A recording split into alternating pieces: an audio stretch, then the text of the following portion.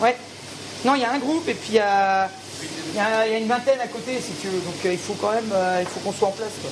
Il est 10 heures. Dans les cuisines du Petit Saint-Thomas, c'est déjà la course. Pour ce midi, le restaurant prévoit une soixantaine de réservations. Une grosse journée en perspective pour David et toute sa brigade. Et le matin, c'est là où on gagne la journée. Donc euh, là, ce matin, je suis pas allé au marché. Donc j'ai moins d'arrivage. C'est pour ça, c'est un peu couillon, mais bon, c'est pas grave. Pour David, vendre des terres de qualité, c'est l'occasion de concocter un menu spécial. Menu qui vise à promouvoir les produits vendéens comme le canard, l'agneau ou ces cèpes cueillis du jour. Ça, c'est du cèpe de Vendée, hein. il n'y a pas photo. On ne peut pas se permettre de travailler des produits hors saison. On va pas faire des cerises au mois de décembre ou des asperges au mois de janvier, c'est pas possible. Donc on, on est condamné à utiliser les produits du coin, discuter avec les gens, des fois ils nous donnent des adresses. Deux entrées menus du coup, je réclame. s'il vous plaît.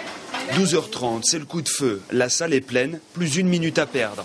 Là on est dedans et puis euh, comme toujours quand on a un peu de monde, bah, tout le monde est euh, en même temps. On a d'un côté on a des gens qui sont pressés, c'est les entreprises. De l'autre côté on a un repas de classe qui sont plus tranquilles.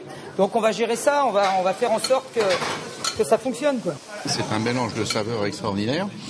On se retrouve avec des Saint-Jacques, euh, des radis noirs, du jambon de pays et puis une tombée de champignons. C'est tout à fait improbable comme, euh, comme mélange, mais ça se marie très bien sans tuer les, les goûts de chacun. J'ai apprécié et je suis prête à recommencer. Une nouvelle fois, le succès est au rendez-vous. Preuve que la gastronomie proposée par les chefs vendéens sait convaincre sans difficulté les papilles de ses clients. Euh, T'as des croquants d'agneau et tout dans le four là?